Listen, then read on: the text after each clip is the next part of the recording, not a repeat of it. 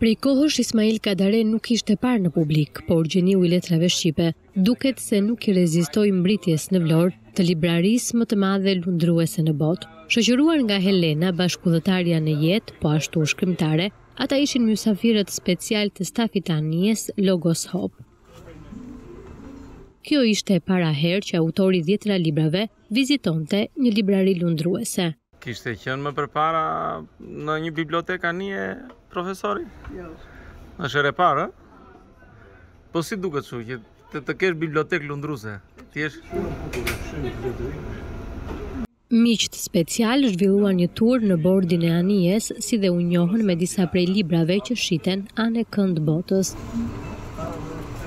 Mes treqind e pesëdhjetë anëtarëve të ekuipazhit, gjashtë janë shtetas shqiptarë. Ata rrëfyen eksperiencën e tyre në shpërndarjen e dijes dhe shpresës. Pra, ne kaluam nga Karaibet për dy javë në Afrikë. Ne mundohemi kur stuhia vjen, mos të rrimë në port, po futemi në det.